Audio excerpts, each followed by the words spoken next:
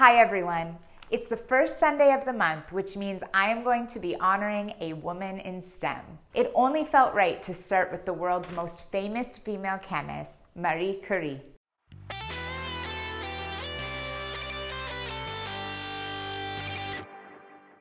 Marie Curie was originally named Maria Sklodowska. Slodowska. Slodowska. Slodowska. Maria Slodowska. I don't know if I said that right. She was born in Warsaw, Poland. She had a pretty rough early start to her life. Both of her parents were school teachers, but her mom died when she was pretty young.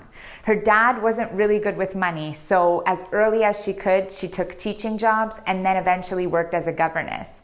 She used all her money to help put her sister through medical school all in the hopes that in return her sister would help her get an education as well. She eventually moved to Paris, France, where she studied physics and mathematics. It was there that she met her future husband, Pierre Curie, and after getting married, changed her name to Marie Curie. Her and her husband worked side by side at the university. He was a professor of physics and she was completing her PhD.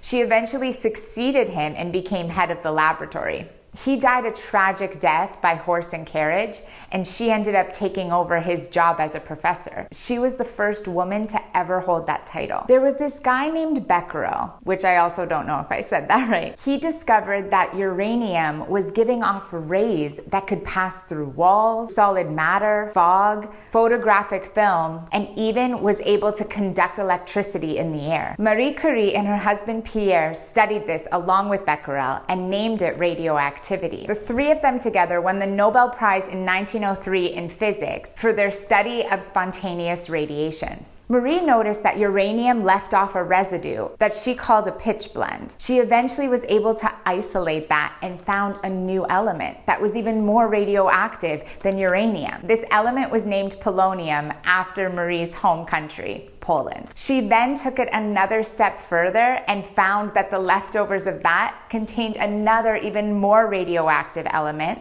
which then became known as radium. They often didn't wear gloves and had raw, swollen hands from dealing with radioactive materials. It's noted that she likely died of leukemia caused by radioactivity, as well as her daughter. She did amazing things with science in her life. One of the things was that she created mini X ray machines that were used in World War I.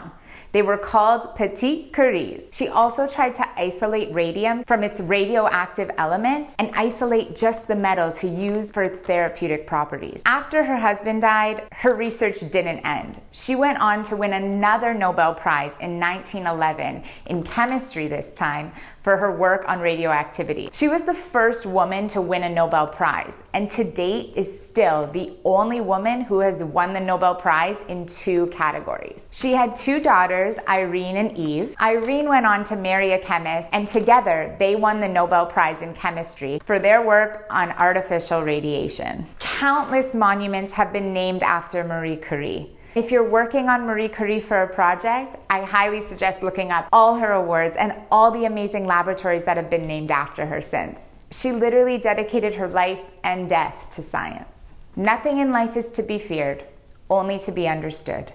If you like what you learned today, please feel free to hit the subscribe button. You can also hit the little notification bell so that you're the first to know when a new lesson drops.